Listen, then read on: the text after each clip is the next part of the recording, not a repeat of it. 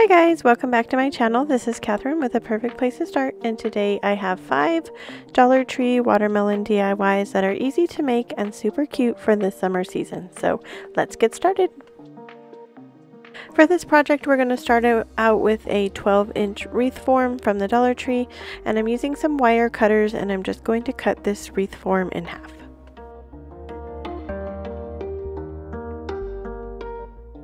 Next we're going to take some mesh that came from the Dollar Tree.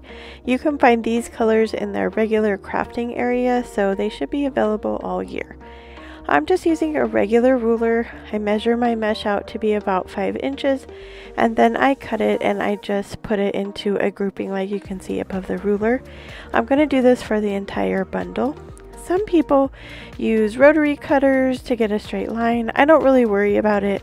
I use a rolling technique to do my wreaths and so it really doesn't matter if they're even or not on the ends. Next I'm going to take some pipe cleaners. These were just some that I had left over. If you want to have all matching colors you can. You can actually see it when you're done with the wreath so for me it doesn't ever really matter but I'm just going to bend it in half and cut it in half um, I only use half of the pipe cleaner per bundle. Some people use a full pipe cleaner. It kind of depends on, you know, your mobility and if you have, you know, problems with your hands when you get to the back to tie it off. So to start the wreath, I'm just going to take three of the pieces of the green mesh and I'm going to roll them up into a bundle and then I'm going to uh, secure them with the pipe cleaner. As you can see off to the left I have some ribbon. I decided not to use the green ribbon in the wreath itself. I do use it towards the end along with that polka dot ribbon but we are going to use the white ribbon and the buffalo check ribbon so after every third bundle on our wreath form, I'm going to put a group of ribbon and I'm just putting it together just like the bundles. So I take a pipe cleaner and I tie it off in the middle and then after every third bundle, like I said, I put a grouping of the ribbon. I'm going to do that on the bottom two rings of the wreath form. So here it is all completed. It's about nine bundles of green mesh per little section of the wreath and then it would be three groups of the ribbon. Then I'm going to do that. I did the exact same thing with the pink uh, mesh that I did with the green mesh and I'm using this polka dotted black ribbon for the inside of the watermelon. I'm going to be doing the top two uh, sections, I guess, of the wreath the exact same way. So I'm rolling three pieces of the mesh up and then grouping it together using a pipe cleaner and then attaching it to the wreath form. I ended up using three packages of the green and only two packages of the pink because it's a little bit less of a semicircle towards the top of the wreath. So I'm just doing the same thing, grouping them in groups of three, attaching it to the wreath form. After every third grouping, I put a bundle of the black and white polka dotted ribbon with a black ribbon on top to kind of replicate the seeds and then I'm going to do that along the whole top section.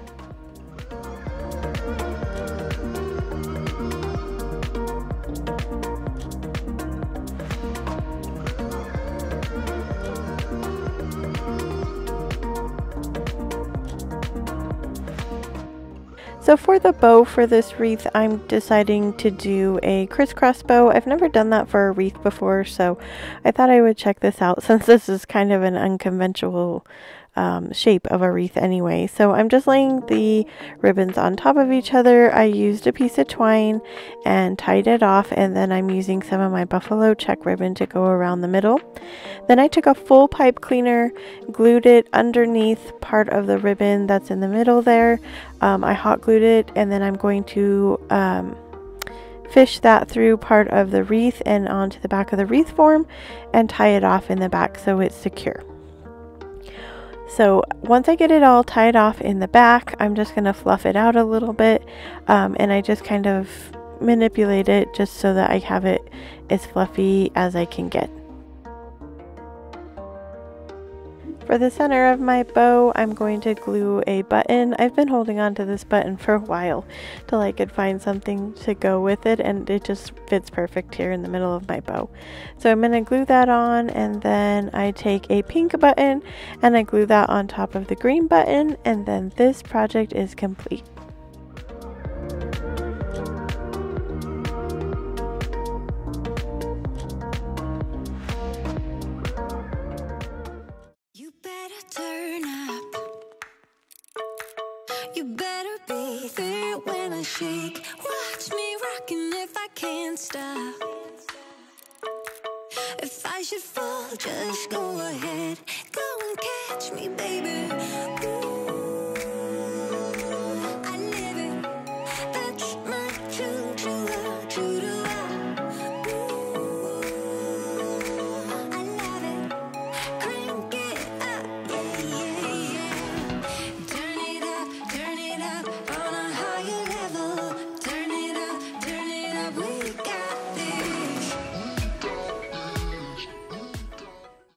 So today's video is part of a scavenger hunt. To qualify for this scavenger hunt giveaway, you need to watch all the videos in the hunt and comment, collect all the secret words from each video, and once you've collected all the words, you're going to email the words to DIYscavengerhunt at gmail.com. We will draw the winner from the correct emails two weeks from the video release and will announce the winner in our community tab and Instagram. Good luck! For this project, I'm using these doilies. They're paper doilies that I picked up at the Dollar Tree over in the party section. I'm just going to use the medium and small ones. I'm folding them in half and then I'm going to cut them in half so I have a slice of watermelon. I'm going to do eight of each of them, so two doilies per size. And then um, I don't end up using quite all eight of the doilies, but I wanted to make sure I had enough. So once I have it cut in half, I'm going to take some green paint and I'll list down in the description box all the things that I use for today's projects. But I'm going to take this green paint and I'm just going to use a chippy brush and I'm going around um, just the edges of the piece to give it the green rind of the watermelon as I did each of these pieces, I kind of learned something new for each time I was making one. But you want to make sure that after you do like a grouping of paint, then you lift up the doily because it gets really stuck to what's ever underneath. And this is a pretty messy project, so make sure you have something underneath what you're painting. So I took some like yellow green paint and then went on top of the green for that part of the watermelon and then we're using my pink paint to go over the middle to give us the actual watermelon pieces. Once I have that all painted and dried, I'm ready to add my seeds with some ink by Waverly Chalk Paint. And by the way, seeds are my secret word for today's video. So all I'm doing is I'm dipping my paintbrush into the end of the paintbrush and the black paint and I'm just putting dots in the pink part to represent the seeds. I'm going to do that for each of the eight pieces that I cut apart and then I will come back to show you how I assembled the banner. So I'm using some leftover nautical rope from the Dollar Tree. You could use twine, you could use string, whatever you have on hand. I tied a hefty knot on each side and undid it so it had kind of a tassel look. Then I'm going just to take my regular hot glue. Make sure you're using some kind of finger protector if you have hot hot glue like I do because this is paper and there are holes in the doily so sometimes the glue will come through. So I'm just pressing down on my paper. I do flip over the banner and kind of glue it on the other side as well. Then I'm going to take this polka dotted ribbon that came from the Dollar Tree and then some white grosgrain ribbon that also came from the Dollar Tree and I'm just going to tie them next to each piece of the banner. So I do a polka dotted, a white, and then a polka dotted again. Then I'm ready to glue my smaller size watermelon piece on next. And I'm just going to complete the same steps using one large watermelon piece and then one smaller watermelon piece until I get to the end of the nautical rope. Once I get to the end, then this project is complete.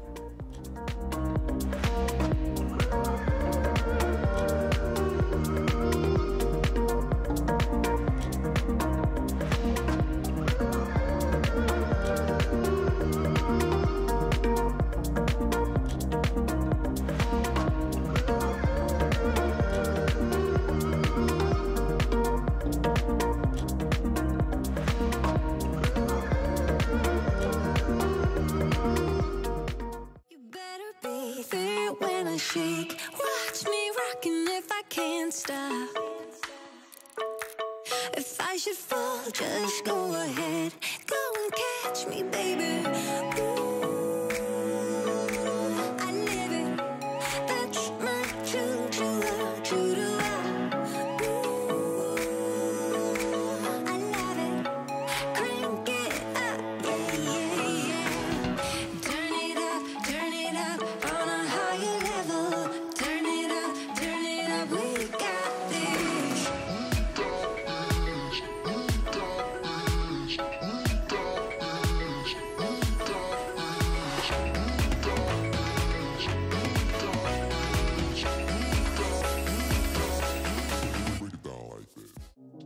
You're coming over to my channel from the hop, welcome. I'm Catherine with The Perfect Place to Start.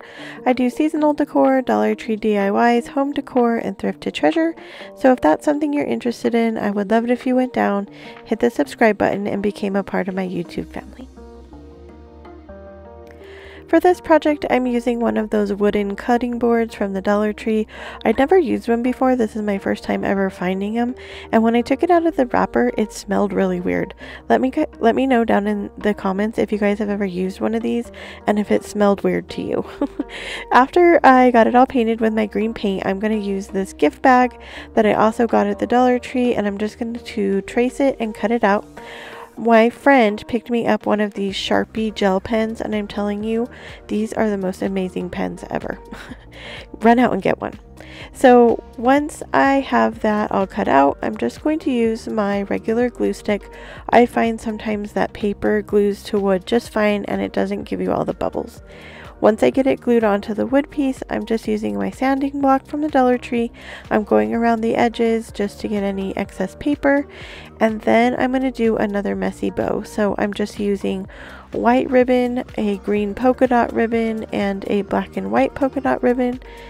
And I'm just crisscrossing it and tying it off in the middle. I like to complete my crisscross bows, if you haven't noticed, with a piece of material in the middle. I think that it adds a little bit more, um, I don't know, high-end look to it, I guess. It just looks more finished to me, but if you like it with just the twine in the middle, you can definitely leave it like that. Once I get that all completed, I'm going to glue it up to the top corner of this project, and then it is complete.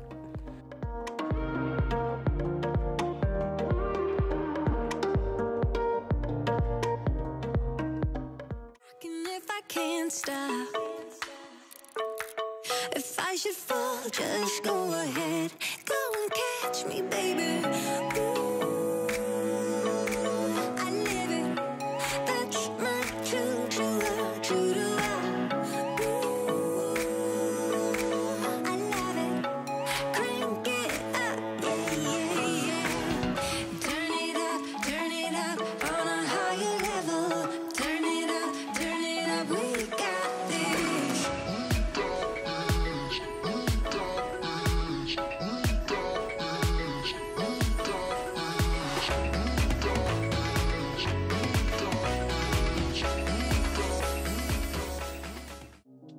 For this project, I'm using a Dollar Tree picture frame and some masking tape, and I just measured about the half of the frame, and I put a piece of tape there.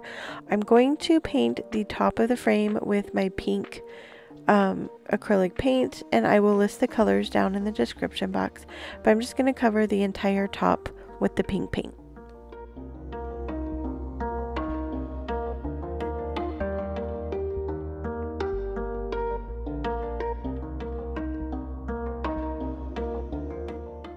So once I have that painted, I'm going to go ahead and go to the bottom of the frame and I'm still using the masking tape and I'm going to tape off some lines on the bottom of the frame. I'm using a piece of masking tape in between the lines to give it an even spacing between each set of lines and then I'm going to be using my dark green paint to paint one set of lines and the light green paint to paint the other set of lines.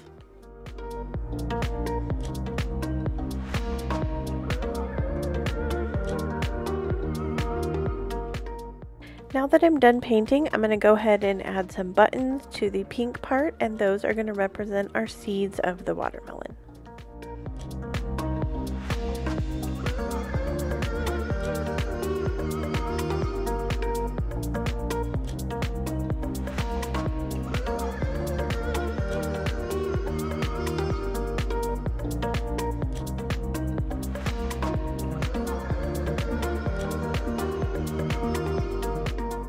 I decided it still needed a little something, so I took that same polka dotted green ribbon and I'm going to glue it down the middle of the dark green stripes and then I'm going to use a white ribbon bow just tied as a shoelace bow and dovetailed at the ends. I'm going to glue it into the right hand corner and then this project is complete.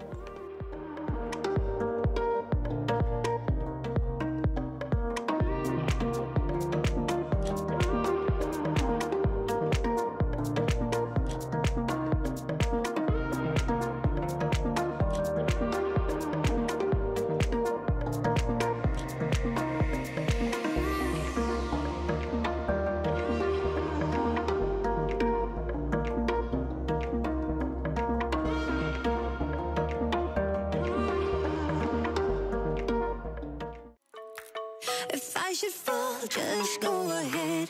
Go and catch me, baby.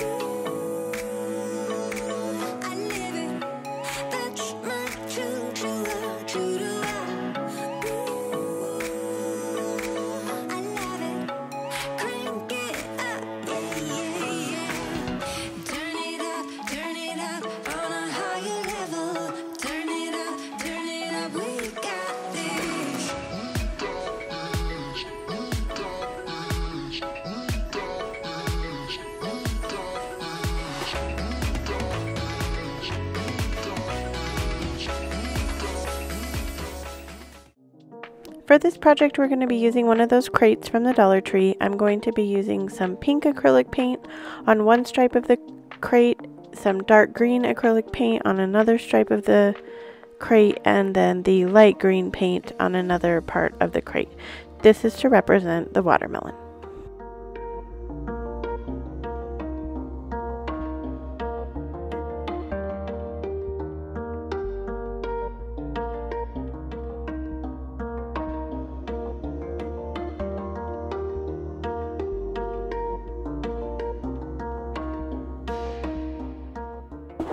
Once I have those painted, I'm going to take this luggage tag and a piece of this white ribbon. I'm going to glue the ribbon around the crate and then I'm going to take the luggage tag, which also came from the Dollar Tree, and I'm just going to glue it onto the middle of the ribbon.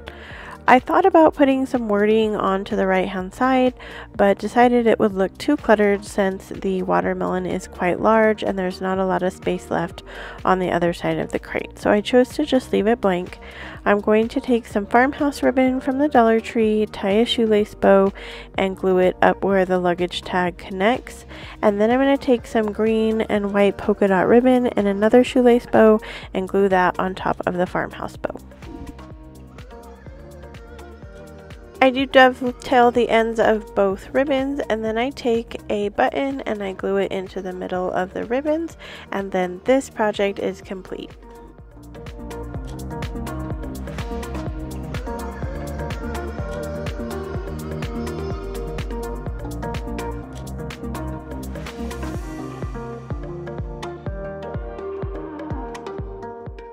You better turn up. You better be shake. Watch me rocking if I can't stop. If I should fall, just go ahead. Go and catch me, baby.